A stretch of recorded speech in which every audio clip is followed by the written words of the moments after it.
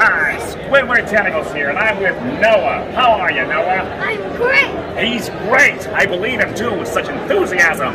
I also want to say, tune in to Noah's amazing reviews. His own his own show, and he does great reviews and interviews with people. This guy has got a big future ahead of him. Catch him now on Noah's Amazing Reviews. Thank you.